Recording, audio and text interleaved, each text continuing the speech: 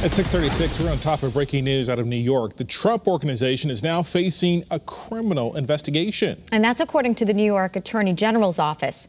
Channel 3's Caitlin Francis is at the breaking news desk now with the latest developments. What's what's the latest, Kate? All right, so we learned all these new details just overnight. And up until this point, as you just mentioned, it's been just a civil investigation. Now, New York Attorney General Letitia James, her office is joining the Manhattan District Attorney's probe. Now, they're looking into whether the Trump organization used misleading information to get loans and tax benefits. The Manhattan DA's office obtained Trump's tax records back in February after a long legal fight. The Trump organization could not be immediately reached for comment. Now, that civil investigation into his pre-presidency business dealings will continue and the former president is calling it, quote, politically motivated. We'll, of course, continue to keep you updated both on air and on the Channel 3 app as the story develops. I'm Caitlin Francis, Channel 3 Eyewitness News.